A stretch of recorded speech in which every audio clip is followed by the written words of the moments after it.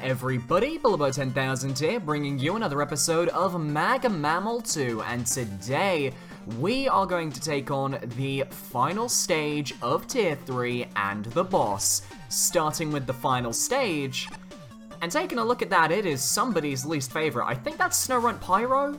I'm not 100%. 59th, BBLIR, Forgotten Fortress, score 23.6, 14, 35, 14, 36, 19, Pyro's least favorite, oh boy, okay. One energy element and four noble nickels. This is a fun one, actually. I actually quite like this stage, I'm not gonna lie. I, I think it's interesting what it does. I think it does a lot, and it is a very ambitious stage. But I don't think it's... Uh, a bad stage. I'd say it's gonna, it's one of the better stages uh, in the early game of the contest that I've played, from what I recall.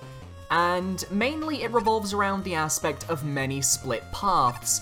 However, if you know where you're going, those split paths aren't actually going to be a problem, because there are a lot of interesting little secrets hidden in this stage that you can actually find quite simply. So first things first, we need to just get through this little sheep van, uh, sheep block segment like so. Drop on down, and we've got anti-grav, or not anti-grav, but we've got, we've got a gravity gimmick. Oh yeah, it is actually anti-gravity. Yep, it's it's more gravity, or less gravity. Sorry, ah, less gravity. Head down here, and we're gonna find the first secret of the map. You see, this wall you can slide through, and you find this beautiful room filled with crazy OCs, and BL, uh, BBLIR. I don't have much to say here, so I might as well tell the credits. The stage music was composed by Dead Team, not sure by which member, but regardless.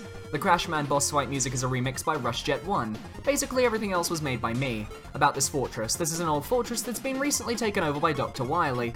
The original owner is unknown, but he has scattered power-ups in certain areas to aid you. Since this fortress is so old, the high gravity has caused the walls to weaken. Be careful. That's pretty much the gist of it. And there's a lot of, all, of different sort of fan robot masters here, but none of them really need to be talked to.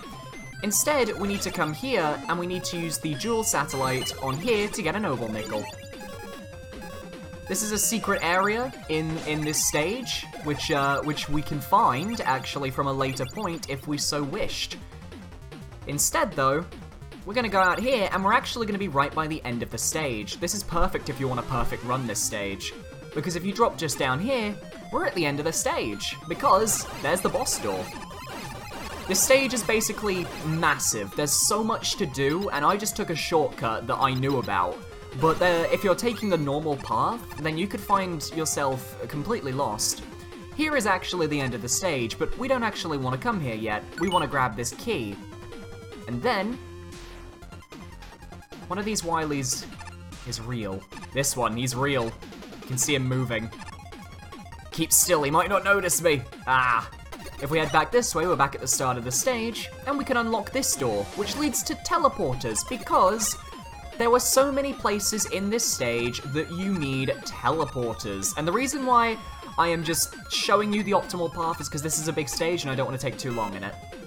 So, hint box, there's a set of hidden rooms. One can be accessed by sliding through the left wall in the room with the single Crashman platform and the other one is in the Quickman laser drop and is available via a teleporter in this room. That's the rooms that we just went to. Now, block trains and other gimmicks can be frozen with the flash stopper. Crashman has been hidden in this level. He's hidden somewhere in the Quickman laser drop. And lastly, there's a hidden Yashichi in the ceiling of the blue path before the big room teleporter is to the top right. So, some pretty interesting things to note. Alright, first things first, I say we take the blue path. I'm not 100% on remembering where to go. Actually, yeah, I think the blue path leads to a Noble Nickel. I'm not 100%. I know there are, I know the location of two more Noble Nickels. I'm just not 100% on this, and I don't... Hmm. I'm trying to remember because I don't really want to screw this one up. This is sort of a, the sort of stage where you kind of just want to know where everything is and get through it really quickly. I think there's a Noble Nickel around here somewhere. I'd like to say it's across here. I don't think it's down in the purple path. So let's super arrow across, grab that E-Tank, and then head to the right. We don't really want to go down here. Alright. Because I know there's one in the Crashman boss room, which is the, the one that was hinted at in the hint box. I don't think there's one here. Okay, thank you. I don't believe there's one here, but I think there might be one at the end of one of the paths. There's one at the end of an auto-scroll path, which is uh, interesting, to say the least. There we go. Noble Nickel? There's the Noble Nickel. This was the one I couldn't remember. Brilliant, okay. In that case, we've got two more Noble Nickels to find, and we just need to go onto different paths to do that. Actually, we're actually pretty much en route to the next Noble Nickel, because the next Noble Nickel is actually on the Quickman Laser Drop, which uh, most of the paths all lead to that drop. I'm also just doing this for a few bolts. I just want to get some so I can buy myself a costume for the next episode. Let me see, how many? 116. I need a few more. I think I can afford the Proto Man costume if I wanted it.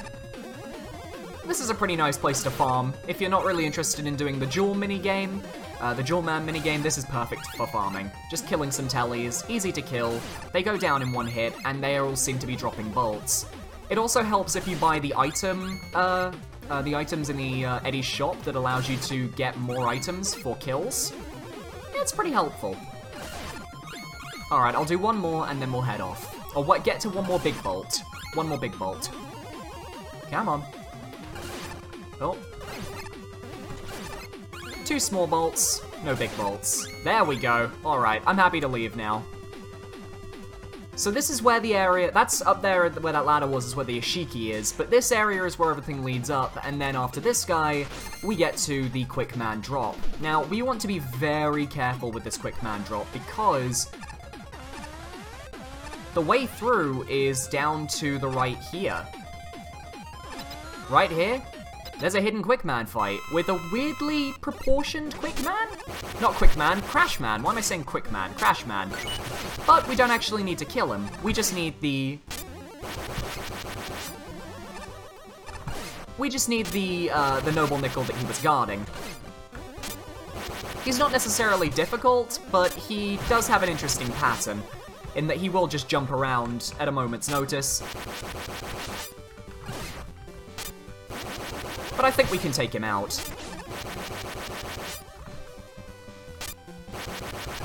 There we go. Ow! This, this is going to be close, actually. I'm, I'm calling it. Oh no! Oh, the Skull Amulet saved me! Got him. There we go. Taken out uh, Crash Man. I, I was saying Quick Man because of the Quickman uh, lasers. But yeah, now we just do the Quick Man drop. We've killed Crash Man and his weirdly proportioned body. Uh, poor guy. Um, still has no hands. And now we just head back down here. Yeah, we're back here. You all know where this is. We head back to the end of the level. And we just have to go back to the teleporters one more time. So let's head back on up. None of the items respawn though. We actually need to get behind that little boss door that was to the right there, but the problem is we need to go around a path to be able to get there. So, let's head back to the teleporters. And now we need to pick another path. We need to pick the purple path. And yes, we're going to be doing some anti-gravity shenanigans. Let's go. This is why the block train hint was necessary because we're going to be using block trains to get around this part of the level.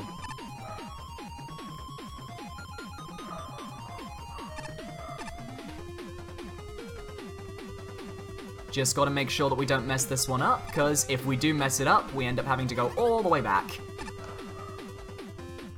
But we're fine.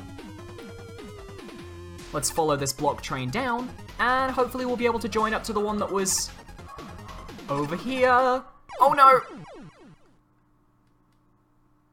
Oh well. But we do respawn here, which I guess is good. Also, I do apologize if you hear any dogs in the background. Those are my dogs downstairs. Uh, they're loud. Alright, there we go. This time we actually managed to get through this block train without much problem. Slide down here.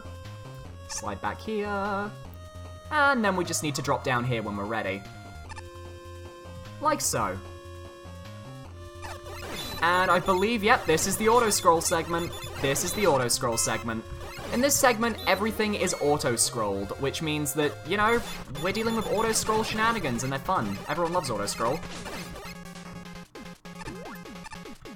And this is where this stage gets really weird because it tries to layer a lot of different platforming elements from the engine. In fact, I would say pretty much every platforming element from the engine is used in this segment. It's all pretty simple now, we've got these lovely light switches, and if the segment had stuck with the light switch theme, I think this level might have gotten a better critique from this segment. But it gets a bit weird, because it completely abandons the light switches, and now we're just jumping on platforms that are appearing from thin air. Now we have these platforms, which drop down, but move up if we jump on them, like so. That's sort of the strategy for these platforms. Drop down, drop down, Oh no, we actually have to go down for this one. There we go. And then we get these platforms that you have to shoot to open, and then there's going to be a bouncy segment coming up. I think that's next, actually. Yep, there it is. And now we just start bouncing around, because that's that's that's how this game works. That, that's how Mega Man works. This is this is quintessential Mega Man, everyone. There we go, we got an M tank. Now we just got to get through here, like so.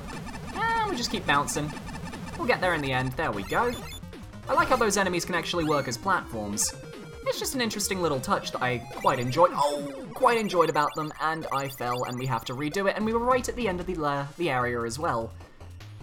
Oh, I didn't know there was a checkpoint right here. That's actually quite kind. I thought you just have to restart the entire auto-scrolling segment again. Okay, that's cool. I'm okay with that then.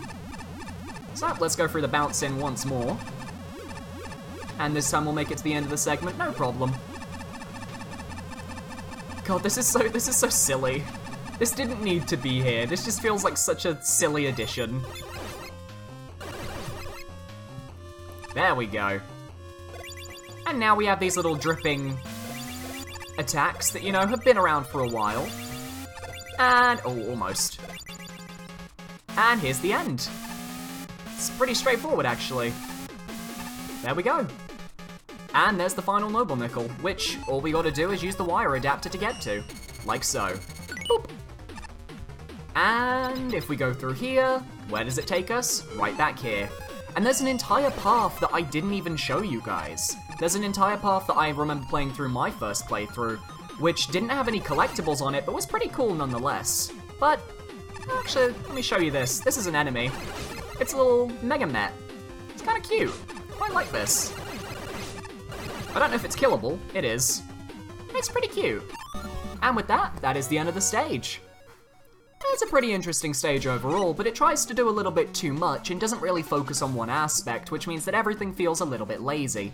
So, let's take a little look at the judges' comments, especially starting with Pyro, who said it was their least favourite. Snowrun Pyro, 14 out of 50. Oh wow, um, wow. This is pretty awful. There is one absolutely massive flaw in this level in that it has literally no idea what it's doing.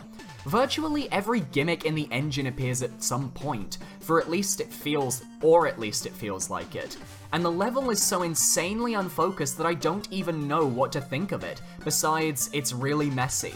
None of the gimmicks are ever focused on or used well, and they constantly just fly in and out of existence. Nonsensical design is everywhere, like an excruciatingly long auto-scroll with a black background, and almost no enemies, but plenty of Nightman bouncers. A random section where there's a block train that seems to want to crush you, but you can blow past it before it gets close to you, and asinine amounts of split paths. The latter is what utterly kills the level for me. Everything sprawl everywhere, in every direction you can think of, and it makes it completely impossible to have a sense of where you are at all. And this is amplified by the utter lack of focus. It took me over an hour to slog through the entire thing and get the energy element and all four Noble Nickels, and it was an incredibly unpleasant and absolutely boring experience.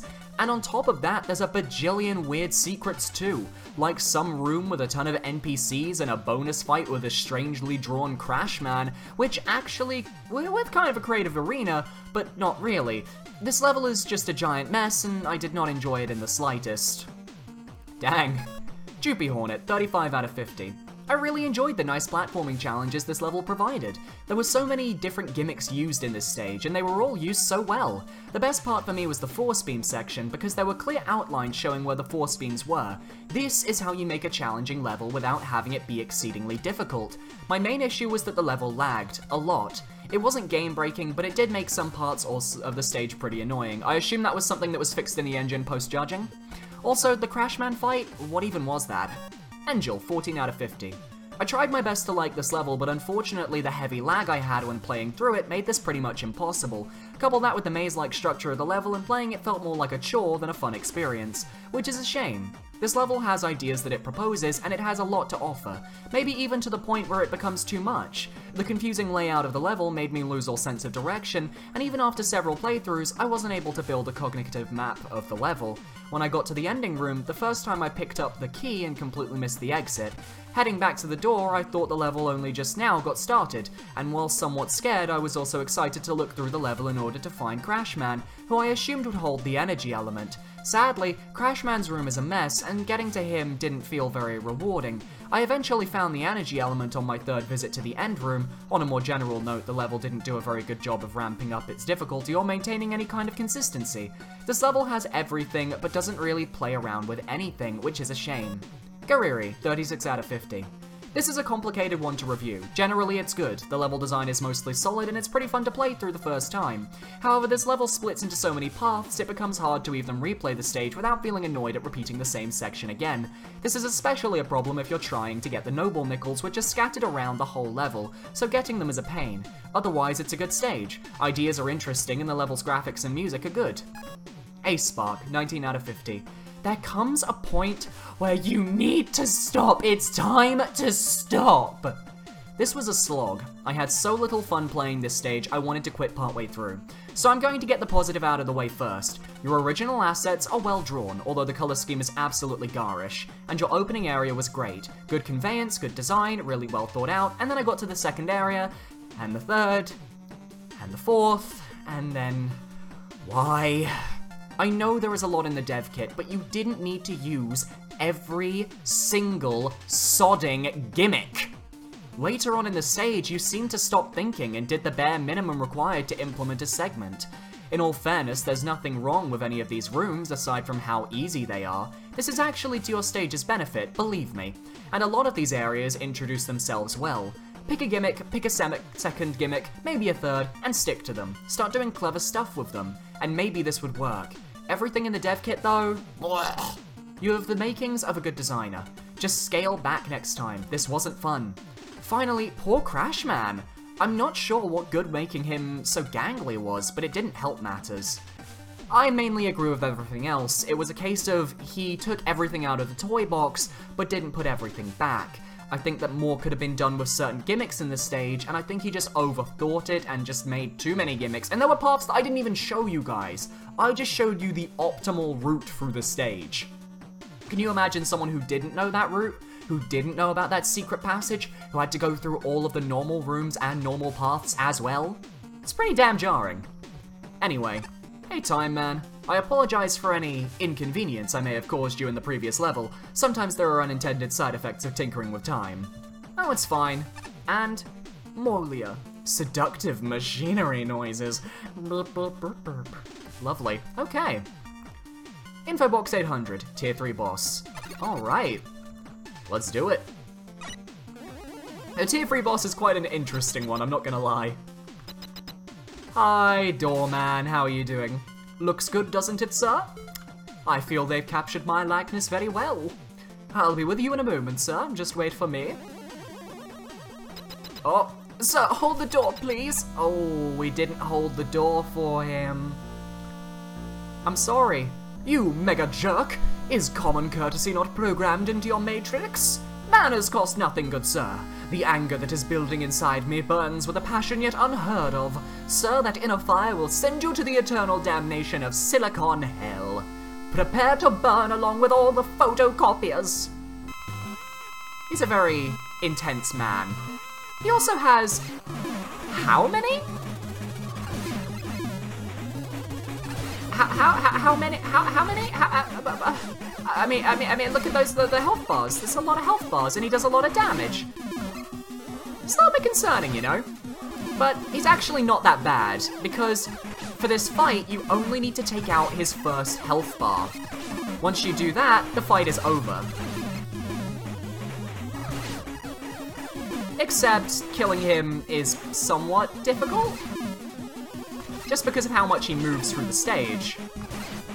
But I don't really want to waste any E-Tanks on him, so I'm going to try and beat him without using my E-Tanks. Oh, so close. You just have to get him down by one bar, and then the energy element appears from one of the doors. And that's how you beat him. But, you know, he's a bit crazy, he's a little bit cranky, he's a bit upset we didn't hold the door. Understandable, you know, have a great day.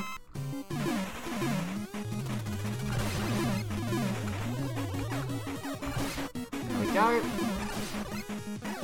Nope. Stay above him.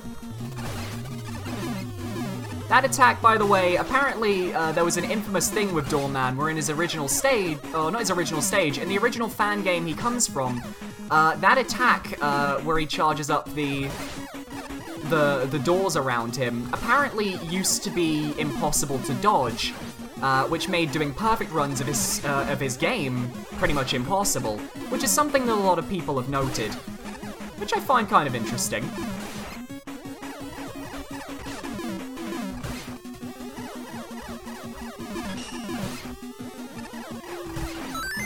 Go, go, go, go! Got him! Yes! Oh, Gordon Bennett, I left the element in that room. See ya, Doorman. Alright, and with that, Doorman is taken out. And that is the end of Tier 3. So let's head back through Tier 3, remembering all the good times we've had. Random Pirate Man, remembering all of the happy times of all these lovely Robot Masters who are hanging out here, playing these great levels, except that one, uh, and just, you know, enjoying our time. I like how the levels definitely got better though as we went through this stage. There were a lot of levels that were, especially this one, oh, that were so weird at the start, but got better over time. Anyway, how many Noble Nickels do we have now? I think it's worth checking. We have 26. I think we have enough Noble Nickels to go and say hello to Nightman again, so I think before we end this episode, we should do that.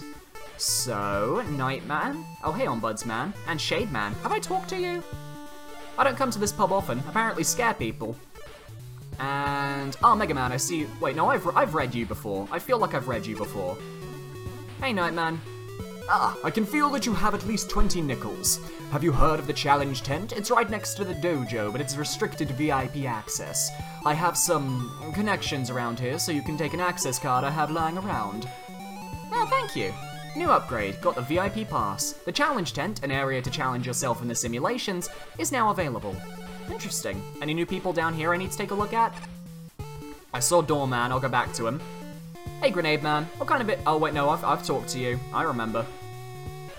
Have I talked to you, Mars? Oh no, you're not, you're not Mars, you're Hyperstorm H. I thought you were Mars. I, I usually, I know the, the Mega Man uh, guys from Mega Man 1 through 10, but I don't know any of the Mega Man guys from the Game Boy games.